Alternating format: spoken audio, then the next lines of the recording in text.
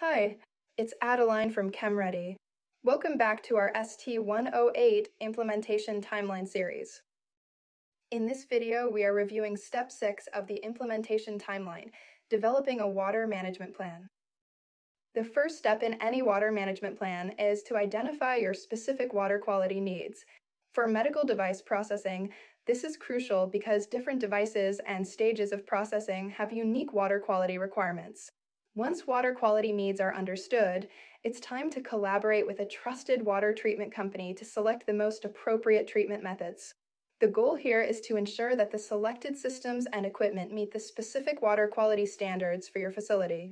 Set target water quality parameters in line with ST108 standards to create a baseline for your goals.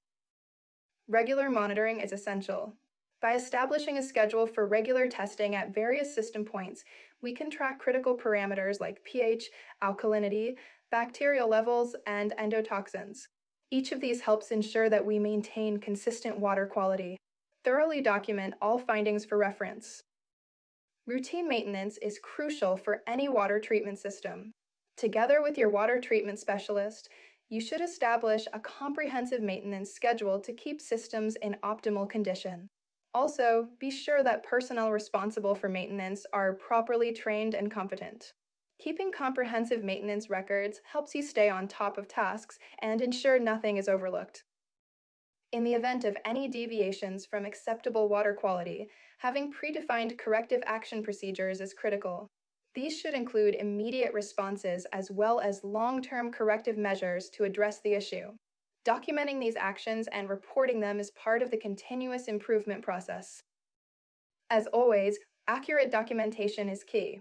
Maintain detailed records of all water tests, including dates, results, and any deviations.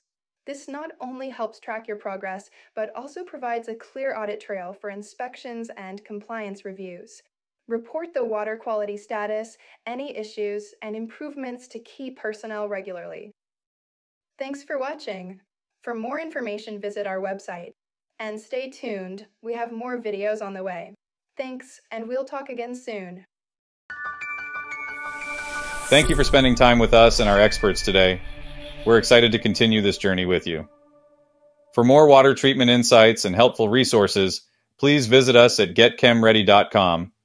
And if you'd like a more personal connection, we're just a phone call away at 1 800 229 6801. We can't wait to connect with you again and explore your water projects together.